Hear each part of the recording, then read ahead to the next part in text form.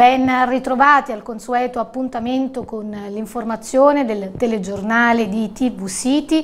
In apertura la cronaca, beni per oltre 20 milioni di euro sono finiti sotto sequestro tra la Campania e il Lazio. In azione le fiamme gialle. Ancora cronaca, gestivano illecitamente rifiuti. Nell'area Flegrea sono state eseguite quattro misure cautelari. L'operazione è della Guardia di Finanza. Torniamo torniamo a Torre del Greco per parlare ancora una volta dell'emergenza rifiuti in città. E ora di commissariare il comune. E la voce di eh, Fratelli d'Italia, un duro atto d'accusa all'amministrazione Palumba. In chiusura una due giorni di eventi all'insegna della cultura, della musica e dell'enogastronomia a Torre del Greco, in campo il comune con gli operatori della zona mare questo ed altro. Guardiamo i servizi.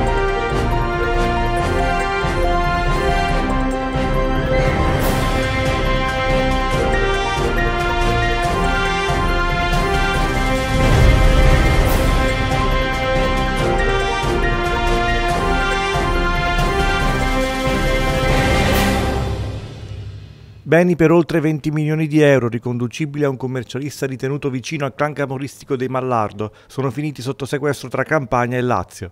Al termine di indagini coordinate dalla Direzione Distrettuale Antimafia di Napoli, la Guardia di Finanza di Napoli ha eseguito tra la Campania e il Lazio un provvedimento di sequestro di un ingente patrimonio stimato in oltre 20 milioni di euro, riconducibile al noto commercialista Aprovitolo Alfredo, classe 69, e al suo nucleo familiare. I finanzieri del nucleo di polizia economico-finanziaria partenopeo hanno sottoposto a sequestro tra le province di Napoli, Caserta, Frosinone e Latina 89 fabbricati, 10 terreni, 8 quote societarie, 2 autovetture e numerosi rapporti finanziari. A Provitola Domenico, padre di Alfredo, indicato da numerosi collaboratori come il tesoriere, veniva considerato un esponente storico del clan Mallardo. Il figlio Alfredo, occupandosi della gestione delle varie attività imprenditoriali riconducibili al clan, avrebbe assunto l'incarico di commercialista delle varie attività imprenditoriali territoriali, soprattutto nei settori immobiliari ed edilizio. Dalle indagini nel corso degli anni sarebbero emersi elementi determinanti in merito alla partecipazione di Alfredo a sodalizio criminale egemone nella zona di Giuliano in Campania. Avrebbe anche svolto un ruolo attivo nelle attività estorsive poste in essere da soggetti affiliati all'organizzazione criminale. A conclusione delle numerose attività investigative eseguite nei confronti del clan Mallardo, è stato condannato a sette anni di reclusione per estorsione dalla quarta sezione penale del Tribunale di Napoli con sentenza emessa nel settembre 2020. L'operazione si inquadra nell'ambito delle attività abitualmente condotte da parte della Guardia di Finanza finalizzate all'aggressione dei patrimoni illecitamente, accumulati da parte dell'organizzazione organizzazioni criminali. Il servizio odierno ha colpito un imprenditore professionista legato al clan Mallardo che nel corso del tempo ha avuto il compito di favorire l'inserimento dell'organizzazione criminale nell'ambito dell'imprenditoria lecita è stato ricostruito completamente il patrimonio del, dell'imprenditore professionista suo e del suo nucleo familiare e sono stati posti sotto sequestro beni mobili, immobili, disponibilità finanziarie per oltre 20 milioni di euro.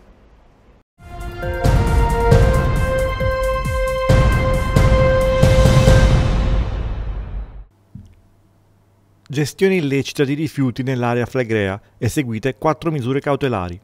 Il gruppo della Guardia di Finanza di Giuliano, al termine di un'indagine coordinata dalla Distrazione Direttuale Antimafia di Napoli, ha eseguito tra le province di Napoli e Caserta quattro ordinanze di misure cautelari personali nei confronti di altrettanti soggetti. Raccolti infatti gravi indizi di colpevolezza per traffico illecito di rifiuti speciali non pericolosi, principalmente detriti e macerie provenienti da demolizioni edili, terre e rocce da scavo.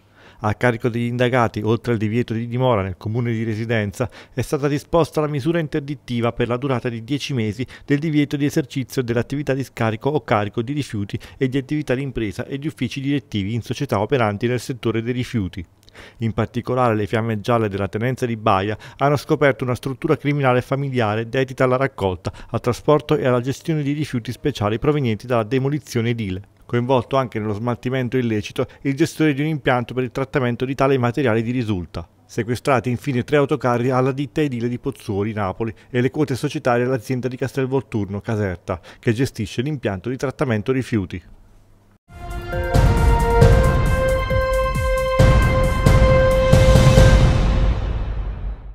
È una questione di sicurezza e salute pubblica. È tempo di commissariare il comune di Torre del Greco.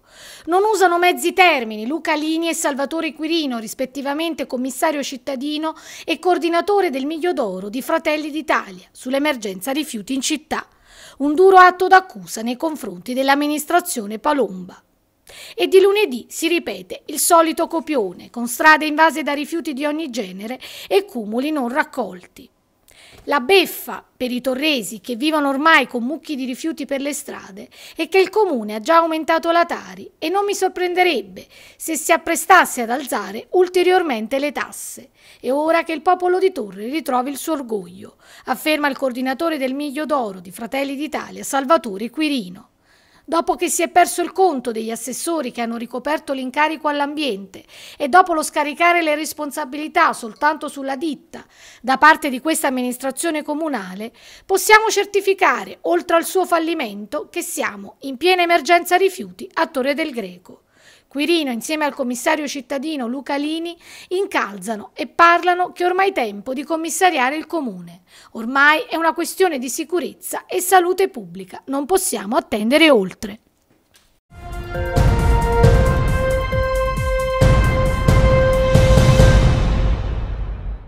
Anna Rita Ottaviano, assessore alla risorsa mare del comune di Torre del Greco, insieme ai ristoratori della zona mare, l'amministrazione comunale sta organizzando uno o due giorni di eventi, un percorso che vuole essere all'insegna della cultura, della musica, dell'enogastronomia per un rilancio di questo territorio. Sì, per un rilancio dopo questo periodo di fermo e anche per premiare il coraggio di tutti i ristoratori che hanno riqualificato questa zona. E quindi noi come amministrazione siamo presenti perché non stiamo a fianco.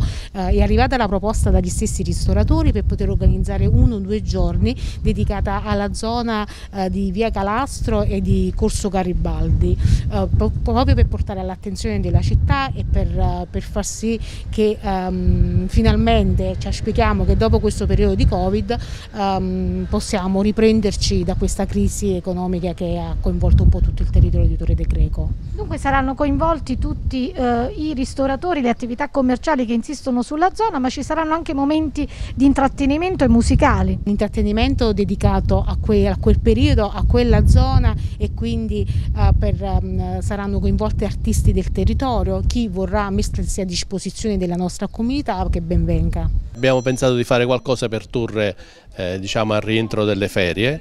E mh, mm, sarà un percorso ovviamente qui nella zona mare eh, finalmente faremo vedere al territorio eh, torrese e anche fuori dal territorio torrese le nostre bellezze perché ce le abbiamo e, e quindi sarà una, due, due, giornate, due momenti importanti per eh, promuovere Torre del Greco. È un percorso dove saranno presenti tutti gli operatori eh, lungo la strada, quindi ci saranno bar, ristoranti, eh, artisti, musicanti, cioè non è una passeggiata soltanto per venire a gustare le nostre eh, specialità ma è un, un, percorso culturale, ci stiamo strutturando e organizzando in tempi abbastanza stretti perché lo, lo faremo a fine settembre più o meno e quindi cercheremo di fare il meglio per poi sviluppare se fa tutto bene nei prossimi anni. Quindi musica, cultura, enogastronomia, tutto finalizzato a un rilancio della zona ma in generale anche del turismo a Torre del Greco. Infatti non a caso è così perché vorremmo rilanciare la zona e anche da un punto di vista turistico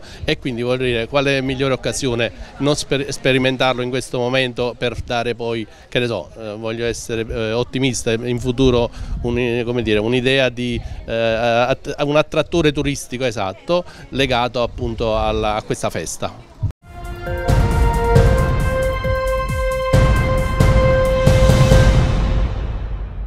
Con questa notizia si chiude anche oggi questa edizione del nostro TG. Vi ricordo che per info e segnalazioni potete inviare una mail alla nostra redazione all'indirizzo redazione chiocciolatvcity.it o chiamare al numero 340 6561 484. Con questo è veramente tutto, arrivederci a domani.